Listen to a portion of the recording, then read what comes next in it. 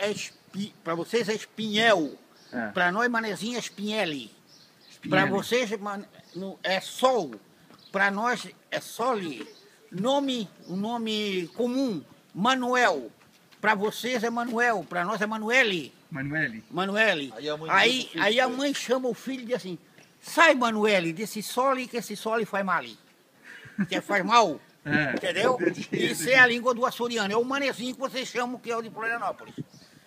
E os, os manezinhos vieram dos Açores. Ilha dos Açores, de, de, de, Passos de Torres, que fica extremando Santa Catarina com o Rio Grande do Sul, no litoral, na beira-mar, até São Francisco do Sul, que fica lá no sul também, extremando com o Paraná, norte do Paraná, tá?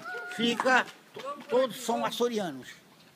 Todos que moram, os pescadores, principalmente pescadores, são todos açorianos, que vieram da Ilha dos Açores para a pesca da baleia. Aqui tinha quatro armação que matava baleia.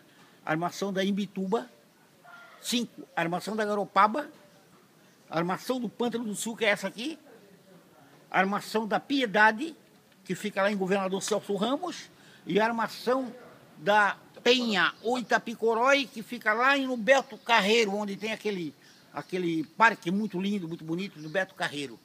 Fica lá no norte, lá perto de São Francisco. As, as armações, todas quatro matavam, cinco matavam baleia por intermédio dos açorianos e os escravos. Os escravos é que usavam, essa aí, o nome dessa baleeira aqui, chama-se lancha baleeira. Porque ela veio dos Estados Unidos. Calma, ela veio dos Estados Unidos. Mas a forma dela veio direto de Portugal, da Ilha dos Açores. De lá foi direto aos Estados Unidos para depois vir para aqui. Aí foi trazido para aqui depois. É, Só que essa aí não vem de lá, essa é a forma dela. Chama-se lancha e como, baleeira. como é que você chama mesmo? Aldo. Aldo. Aldo Correia de Souza.